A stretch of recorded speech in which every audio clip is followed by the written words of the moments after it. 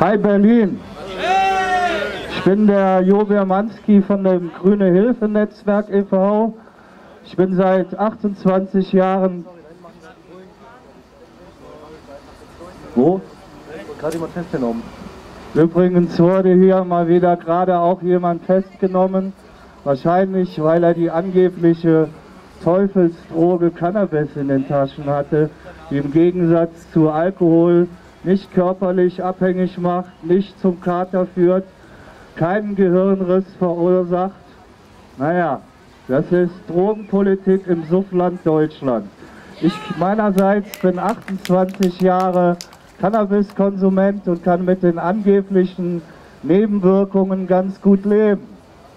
Die Grüne Hilfe wurde 1994 als Informationsbörse zu den Themen Cannabis und Strafrecht, Cannabis und Führerschein, Cannabis als Medizin und Gefangenenbetreuung reaktiviert. Seit 1994 ist die Zahl der Hilfegesuche, weil wir helfen Leute, die halt Ärger mit dem Prohibitionsapparat haben, vermitteln engagierte und gute Anwälte. Das ist ziemlich häufig notwendig, vor allem weil auch zunehmend der angeblichen Entkriminalisierung bei geringen Mengen, wo Verfahren eingestellt werden können, nicht müssen, von 6 Gramm bis 30 Gramm in Schleswig-Holstein und Berlin. Parallel dazu läuft der Missbrauch des Strafrechts als äh, des Verwaltungsrechts über Führerschein als strafrechtliche Strafebene. Hanf, wir sind das Hanf, heißt die Demo. Ich denke, ich muss hier daran erinnern, wir sind nicht alle, es fehlen die Gefangenen und nicht nur die, es fehlen die Millionen, die heimlich hinter ihrer, Tür kiffen. kiffen, kiffen, kiffen. Drogenpolitik hat versagt, Strafe schützt nicht vor Konsum. Und die, die am gravierendsten von dieser misslungenen Drogenpolitik betroffen sind, das sind die Gefangenen hinter Gittern. Etwas Erfreuliches gibt es auch in diesem Jahr zu berichten. Auch hinter Gittern hat sich jetzt eine Initiative gebildet, die nennt sich Grüne Zelle. Wer mehr zur grünen Zelle wissen möchte, kann im Internet unter www.grüne-hilfe.de nachschauen.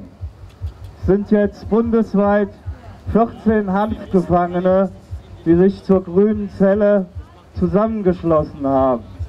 Die Initiative geht vom ehemaligen Grüne Hilfe Aktivisten René Gorik in der JVA Wittlich in der Eifel aus und der Kontakt zu Inhaftierten ist nochmal schwieriger als das, was wir hier vor den Mauern in Freiheit erleben.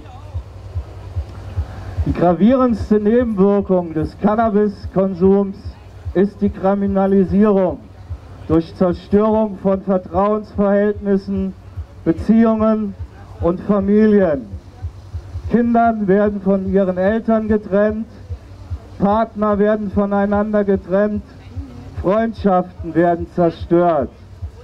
Dadurch wird so mancher in die Sucht getrieben, anstatt vom angeblichen Teufelszeug ferngehalten zu werden. Aber es genügt nicht hier äh, nur bei einer Demo mitzumachen. Wir kriegen das Image, was hier jahrzehntelang in die Köpfe geprügelt wird, nur weg, indem wir auch dazu stehen, was wir tun. Wie kann ich den Omas und Opas und Müttern und Vätern ihre Ängste nehmen, wenn nicht die, die das Zeug benutzen, offen dazu stehen.